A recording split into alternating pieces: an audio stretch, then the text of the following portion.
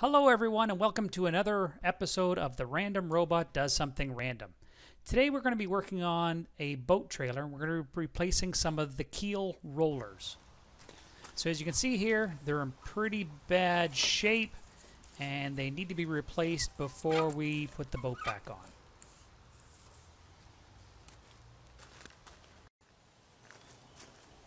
So, the first step is to remove these old rollers. And we have to remove the cotter pin that's holding them in, so I'm just going to use a pair of pliers.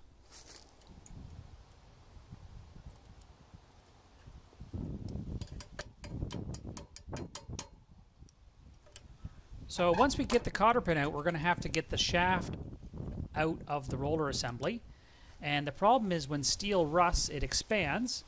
And this is going to cause a lot of work. So those actual plastic things you see there aren't going to move. So we're going to have to use some violence against it, some physical force. So I actually lost the footage of me tackling that, but it took quite some time to get the scale off. So here is a good one, and here is one of the ones I took out, and I just painted it up, and we're going to reuse it because the ends are still relatively good, and here's some new rollers, and we're going to put those on. So if your sh shaft was in too bad a condition, you could just take some, in this case here it'd be 5/8 steel. They usually come in standards for either 5/8 steel uh, round or half inch round, depending on the size of your boat trailer and the type of rollers going on. So we're just going to start putting these back in by lining up the brackets. Sometimes they're a little finicky to get lined up, but once you do, it'll push the shaft right through.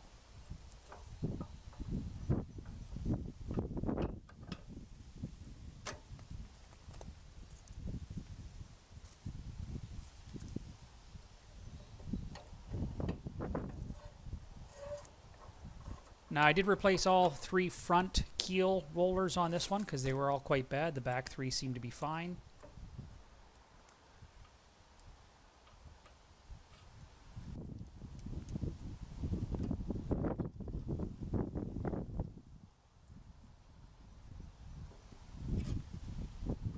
So we're just uh, reinstalling the cotter pins on the other side and bending one arm of them down to prevent the shaft from sliding out.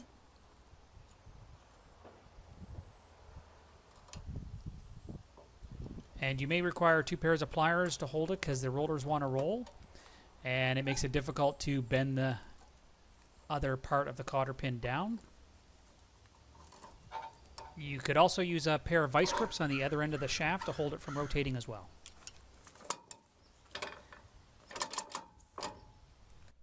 Again, I'd like to thank everyone for watching The Random Robot. Please like and subscribe, and we'll see you next time.